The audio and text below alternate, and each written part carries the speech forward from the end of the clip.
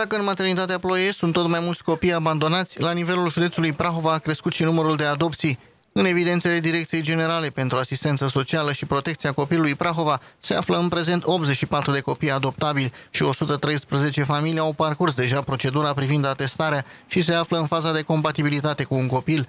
Dacă anul trecut s-au eliberat 122 de atestate pentru familii sau persoane adoptatoare și s-au realizat aproximativ 30 de adopții, anul acesta situația este mult mai bună. În cursul acestui an, uh, numărul de adopții a crescut, deci până în primele șase luni deja s-a înregistrat uh, aproape același număr cât la nivelul anului trecut, uh, ceea ce ne bucură și mm, ceea ce reprezintă un um, semnal că mm, și crearea acelui registru național pentru adopții a venit în sprijinul copiilor și al familiilor.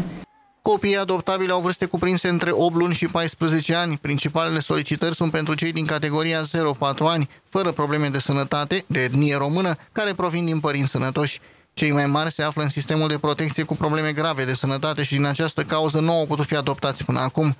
În evidențele DGASPC Prahova figurează 233 de asistenți maternali profesioniști care au în grijă aproximativ 400 de copii.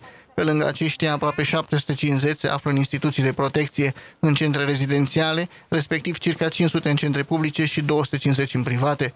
Persoanele interesate se pot uh, adresa instituției noastre cu o cerere în care să solicite atestarea ca familie aptă să adopte uh, și în termen de maxim 90 de zile de la data depunerii uh, acestei cereri se poate obține atestatul de familie adoptatoare.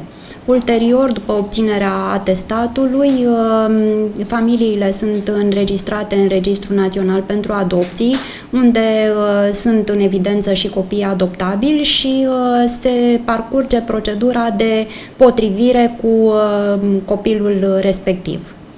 Potrivit legii, cei interesați să adopte un copil trebuie să fie cetățeni români, să aibă vârsta minimă de 18 ani, să îndeplinească condițiile materiale și financiare corespunzătoare, să prezinte garanții morale și să aibă o stare de sănătate care să le permită îngrijirea unui copil.